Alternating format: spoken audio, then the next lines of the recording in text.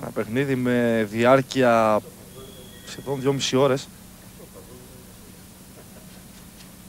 Για να δούμε. Το πιο κρίσιμο σπάσιμο στο μάτς.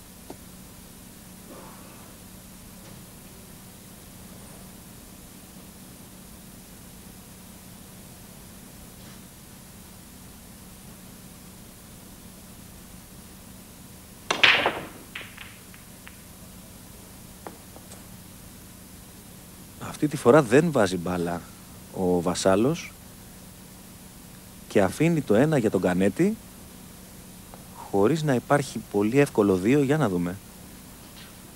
Μάλιστα, σε αυτό το κρίσιμο σημείο ο Βασάλος δεν έβαλε μπάλα στο σπάσιμο. Και είδαμε κατευθείαν την απογοήτευσή του. Μόλις κατάλαβε ότι δεν θα μπει μπάλα, ουσιαστικά αντέδρασε σαν, ε, Σαν να έχει χάσει το σαν παιχνίδι. να έχει χάσει το παιχνίδι. Βεβαίως δεν ισχύει αυτό. Ακόμη. Γιατί και ο Κανέτης έχει από την πλευρά του δική του α, πολύ μεγάλη πίεση. Οπωσδήποτε. Πολύ περισσότερο από τη στιγμή που έχει φτάσει να είναι τόσο κοντά και περνά στην άκρη του μυαλού του το ενδεχόμενο να χάσει. Ήταν μπροστά με 12-10. Ο Βασίλης Κανέτης βέβαια μέσα στα χρόνια έχει αποδείξει ότι δεν του λείπει ψυχή. Είναι ένας από τους παίκτες που έχουν πολλά αποθέματα.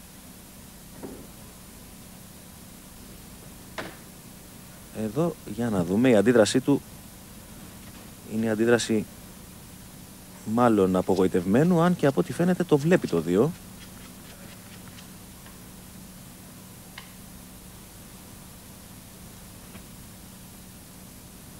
Τρία είναι κοντά στη μεγάλη σπόντα. Μόνο εύκολο δεν είναι το τραπέζι που έχει να αντιμετωπίσει τώρα ο Κανέτης.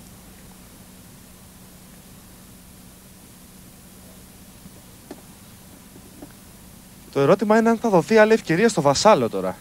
Ο Κανέτης δεν θέλει να του δώσει άλλη ευκαιρία βέβαια. Σε Ο καμία Βασάλος, περίπτωση. ο Βασάλος σίγουρα αυτό εύχεται αυτή τη στιγμή.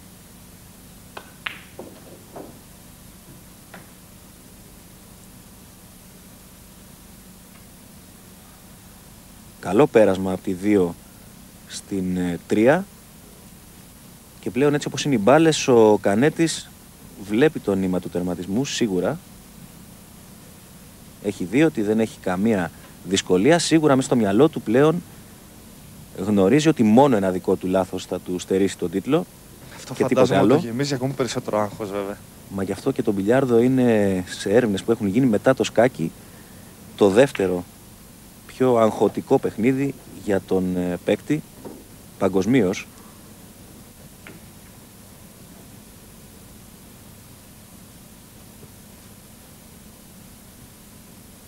Είδαμε τον Βασάλο απογοητευμένο.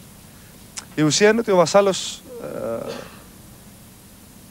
βρίσκεται πλέον σε μειονεκτική θέση από ε, θέλει κάποιος να το πει ατυχία, θέλει να το πει αστοχία στο σπάσιμο. Εντάξει, το σπάσιμο είναι και θέμα τύχης βέβαια, φαντάζομαι. Εσύ το ξέρεις καλύτερα και μπορείς να μας το πεις. Ε, αν τελικά ο Κανέτης καθαρίσει αυτό το μπιλιάρδο και πάρει το πρωτάθλημα, ο Βασάλος θα το έχει χάσει ακριβώς επειδή δεν ε, έσπασε όσο καλά συνηθίζει να σπάει σε κάποια άλλα πανελλήνια πρωταθλήματα που κέρδισε και βέβαια επειδή έκανε αρκετά λάθη που δεν συνηθίζει να κάνει, σοβαρά λάθη μέσα στον αγώνα. Απ' την άλλη ο Κανέτης και αυτός είχε κάποιες ατυχίες στο σπάσιμο Κανέτης ο οποίος ε, και αυτός είχε τα λαθάκια του, αλλά ως επιτοπλίστων ήταν πιο σταθερός από την αρχή του αγώνα μέχρι και τώρα από το Βασάλο, έστω και Και ελάχιστα. συνεχώς μπροστά στο σκορ. Συνεχώς μπροστά, έστω και ελάχιστα πιο σταθερός, ε, κάτι που μαρτυρά βέβαια και το σκορ. Όποιος από τους δύο παίκτες κερδίσει θα έχει κερδίσει με 13-12. Ε, αν κερδίσει ο Βασάλος, ουσιαστικά θα κερδίσει αυτή τη στιγμή επειδή ο Κανέτης θα έχει κάνει ένα πολύ σοβαρό λάθος. Οπότε θα ευθύνεται πολύ, σε πολύ μεγάλο βαθμό για το αποτέλεσμα ο Κανέτης. Αν κερδίσει ο Κανέτης καθαρίζοντας τώρα τις μπάλες, θα έχει εξαρτηθεί από τη δικιά του σταθερότητα και από τα λάθη που έκανε μέσα, στην, ε, μέσα στο μάτς ο Γιάννης Βασάλος. Πέντε μπάλες από την κατάκτηση του πρωταθλήματος. εγώ το στόχο C5. Καρδιοχτύπησε φαντάζομαι. Κανένα ο οποίος δεν βιάζεται καθόλου πλέον. Πήγε να κάνει κάτι, κάποια τερτύπια η μπάλα εκεί στη γωνία τώρα. Θα καθυστερήσει ο Βασίλης Κανέτης τόσο ώστε να είναι σίγουρος στη στιγμή που θα παίξει την μπάλα ότι αυτή θα μπει.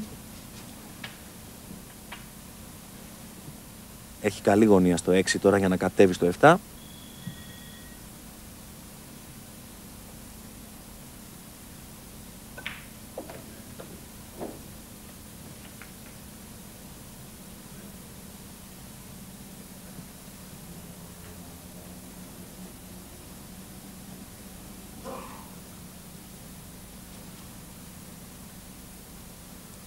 Τρεις μπάλες από το πρωτάθλημα.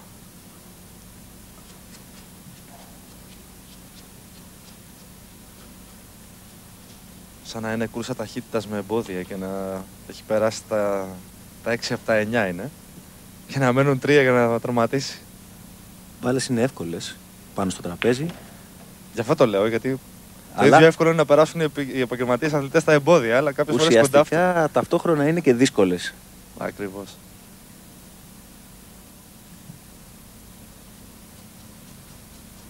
Μια φάση τώρα με την 8 και την 9 που ο Κανέτης δεν θα έχανε σχεδόν ποτέ στην προπόνηση. Ζυγίζει παραπάνω η στέκα τώρα. Οπωσδήποτε. Είπαμε, το μυαλό δεν είναι πολύ καθαρό, όπως ήταν στην αρχή του παιχνιδιού. Κοιτάξτε την πίεση στο, στην έκφραση του προσώπου του και την ένταση που υπάρχει και που πρέπει να υπάρχει γιατί αλλιώς δεν θα, θα ήταν σε γρήγορη μέχρι το τέλος. Για να δούμε. 8. Μέσα. Το χτύπημα στην 9 είναι πολύ εύκολο. Όλη η δύσκολη δουλειά έχει γίνει. Ο Κανέτης εδώ είναι μια ανάσα από, το, το πρωτάθλημα. Πέναλτι σε κενή αιστεία. Χωρίς θερματοφύλακα είναι αυτό. Μέσα. Ο, ο Βασίλης Κανέτης κατακτά λοιπόν το πρωτάθλημα Ελλάδας για δεύτερη φορά στην ε, καριέρα του. Ήταν ε, στο οκτάμπαλο, τώρα στο εννιάμπαλο και σπάει μια κυριαρχία 6 ετών του σπουδαίου αθλητή που βλέπουμε, του Γιάννη Βασάλου. Εδώ είναι η στεκιά που δίνει στον Γιάννη Κανέτη, στον Βασίλη Κανέτη, συγγνώμη, το πρωτάθλημα. Τελευταία στεκιά στον αγώνα. Νομίζω ότι με αυτήν και με ένα τελευταίο σχόλιο από τον Σπύρο Κατσόφρη, τον οποίο θα ευχαριστήσω κιόλας για την παρουσία του εδώ. Μπορούμε να κλείσουμε για την μετάδοσή μας. Χαρά μου ένα ήταν. σύντομο σχόλιο. Ο Βασίλης Κανέτης άξιας σε αυτό το τελικό ήταν ο νικητής. Εκμεταλλεύτηκε, όπως είπαμε, κάποια λάθη που συνήθως δεν κάνει ο Γιάννης Βασάλος. Ο Βασάλος όμως, ο οποίος έχει ένα εκπληκτικό σερί, έξι σερί πρωταθλημάτων Ελλάδος. Δεν λέει τίποτα που έχασε τώρα. Θα επιστρέψει και πάλι δυνατός του χρόνου. Ωραίος τελικός με πολύ μεγάλη αγωνία ελπίζω να τον απολαύσαν οι τηλεθεατές. Ευχαριστούμε όλους εσάς που μας παρακολουθήσατε. Να είστε πάντα καλά.